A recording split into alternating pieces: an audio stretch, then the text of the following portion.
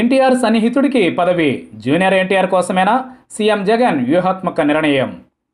AP ముఖ్యమంత్రి జగన్ కీలక నిర్ణయం తీసుకున్నారు. రాజకీయంగా వ్యూహాత్మక అడుగులు వేస్తున్నారు. ప్రతిపక్ష నేత చంద్రబాబును ఆత్మరక్షణలోకి నెట్టే వ్యూహాలను అమలు చేస్తున్నారు. అందులో భాగంగా టీడీపీ వ్యవస్థాపకులు ఎన్టీఆర్ సన్నిహితుడికి కీలక పదవి ఇవ్వాలని డిసైడ్ అయ్యారు. దీని ద్వారా నందమూరి కుటుంబ సభ్యులు ప్రధానంగా హరికృష్ణ ఫ్యామిలీని ఆకర్షించేందుకు ఈ ఎత్తుగడ వేసినట్లు కనిపిస్తోంది.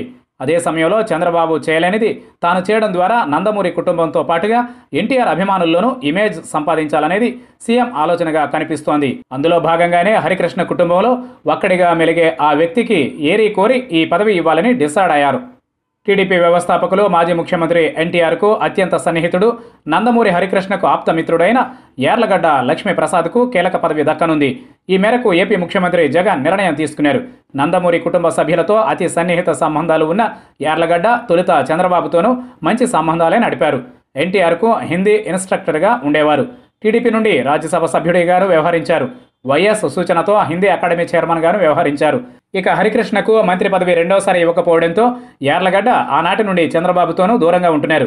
ఈ రకంగా చంద్రబాబుకు వ్యతిరేకంగా ఉన్నారు. అదే సమయంలో టీడీపీ చంద్రబాబు నందమూరి కుటుంబంతో అతి దగ్గరగా ఉన్న ఆయన ఇప్పుడు చంద్రబాబుతో దూరం పాటిస్తున్నారు. అయితే నందమూరి హరికృష్ణ కుటుంబంతో మాత్రం తొలి నుంచి మంచి సంబంధాలే ఉన్నాయి. దీంతో ఇప్పుడు భవిష్యత్ వ్యూహాలను దృష్టిలో పెట్టుకుని ఈ నిర్ణయం తీసుకున్నారు. యార్లగడ్డ లక్ష్మీప్రసాద్ను ఏపీ అధికార భాషా సంఘం చైర్మన్గా నియమించాలని ముఖ్యమంత్రి జగన్ నిర్ణయించారు. తెలుగు భాష అభివృద్ధికి తమ ప్రభుత్వం ప్రాధాన్యత ఇస్తుందని చెప్పిన సీఎం ఆ మేరకు నిర్ణయం తీసుకున్నారు. భాషాభిమానిగా అనేక ప్రాంతాల్లో తెలుగు మహాసభలు నిర్వహించిన యార్లగడ్డ పద్మ విభూషణ్ అవార్డు అందుకున్నారు. ఉపరాష్ట్రపతి వెంకయ్యనాయుడు జాస్తి చలమేశ్వర్ వంటి వారితో సన్నిహిత సంబంధాలు ఉన్నాయి. సాహిత్య అకాడమీ అవార్డు సైతం దక్కించుకున్నారు. జగన్ ముఖ్యమంత్రి అయిన తరువాత సి. నారాయణరెడ్డి గురించి రాసిన పుస్తకం ముఖ్యమంత్రితో ఆవిష్కరించేలా యార్లగడ్డ ఒప్పించి ఆ కార్యక్రమం నిర్వహించారు.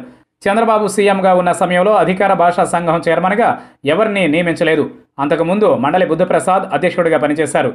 తిరిగి ఇప్పుడు ముఖ్యమంత్రి జగన్ ఈ నియామకం పైన నిర్ణయం తీసుకున్నారు. యార్లగడ్డ ఆంధ్ర యూనివర్సిటీలో ప్రొఫెసర్గా పనిచేశారు. ఇప్పటికే చంద్రబాబుతో నందమూరి కుటుంబంలో కొంతమంది దూరం పాటిస్తున్నారు. ఈ గ్యాప్ను తమకు అనుకూలంగా మలుచుకునేందుకు జగన్ వ్యూహాత్మక ఎత్తుగడలు వేస్తున్నారు.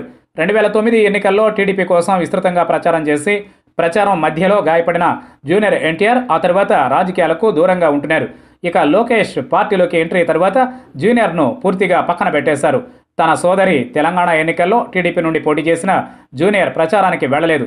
పూర్తిగా సినిమాలకే పరిమితమైన జూనియర్ అవసరం. ఇప్పుడిప్పుడే టీడీపీ అధినాయకత్వం గుర్తిస్తోంది. ఇప్పుడున్న పరిస్థితుల్లో జూనియర్ను రంగంలోకి దించాలని పార్టీ అధినేత వద్ద కొందరు ముఖ్యులు సూచిస్తున్నారు. దీంతో ఇప్పటికే జూనియర్ మామ అయిన నారనే శ్రీనివాసరావును వైసీపీలో చేర్చుకున్న జగన్ ఇప్పుడు జూనియర్ ఎన్టీఆర్ తండ్రికి అత్యంత ఆప్తుడైన యార్లగడ్డకు పదవి ఇవ్వడం ద్వారా భవిష్యత్ సమీకరణాలను తనకు అనుకూలంగా మలుచుకునే ప్రయత్నాలు మొదలుపెట్టారు.